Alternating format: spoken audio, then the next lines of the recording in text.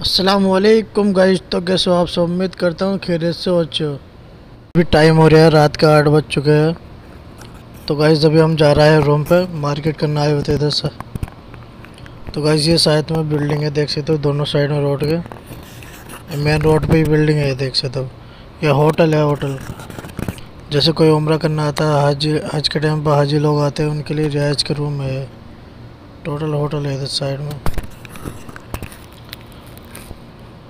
और अभी हम रोड के बीच में चल रहे हैं, जहाँ ये पेड़ लगे होते हैं।